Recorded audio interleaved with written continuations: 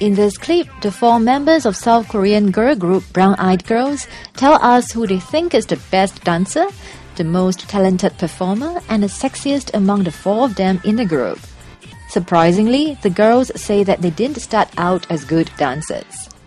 Now, another thing is uh, we know that Brown Eyed Girls are very good in your dancing as well. Where do you girls learn your dancing from?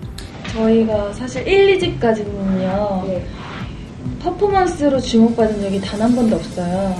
근데 아브라카다브라 때문에 저희가 그런 퍼포먼스 그룹 대열에 오르게 되었는데 되게 야마엔 하칙스라고 어, 카라의 엉덩이 춤이랑 저희 아브라카다브라 하셨던 그 분인데 그분들 덕택이 저희가 지금의 퍼포먼스를 할 수 있게 된 것 같고 저희도 노력을 굉장히 많이 했어요.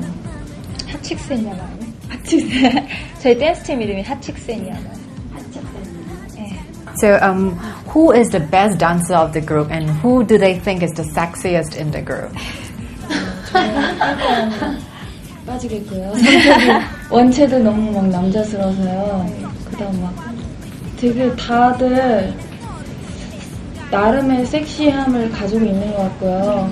춤은 아무래도 나르샤랑 미료가 아니 누구지? 아 나르샤랑 가인이가 좀 제일 빨리빨리 습득하고 잘하는 것 같아요. All right, thank you. Thank you very much for talking to us. Thank you. Next up, find out why up and coming musician Jisoo Lee wants to stay longer in Singapore.